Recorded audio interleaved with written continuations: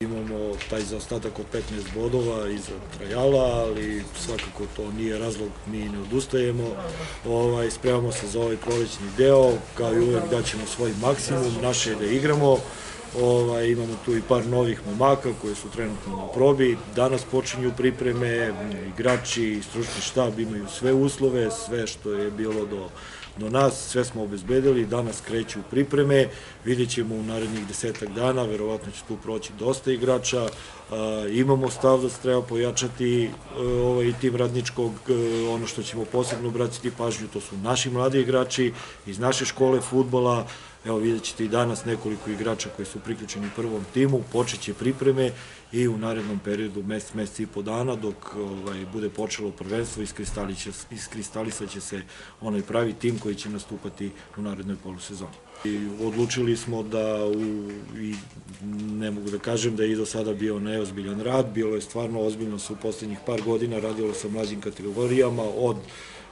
te neke škole futbala do mladinaca, svi imaju neke svoje rezultate u, u, u Ligi RIS 1 koju, koju sve naše takmičarske selekcije igraju. Odlučili smo da još više unapredimo taj rad, imenovali smo koordinatora mlađih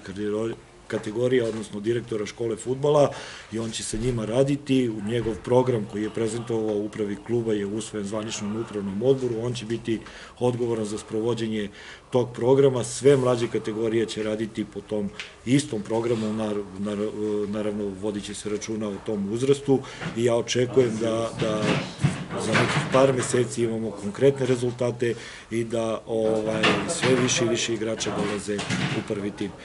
U narednih desetak dana će se iskristalisati ceo taj program njihovog rada i ovaj, bit ćete obavešteni kada počnu pripreme za mlađe kategorije, držat ćemo jednu prezentaciju, predstavit ćemo trenera, odnosno direktora škole futbala i idemo dalje. To je Milan Ćirić, čovek, odnosno naš sugrađan iz Pirota koji je dosta svoje karijere ovaj, probao u inostranstvu, ima dosta iskustva, ima sve neophodne licence,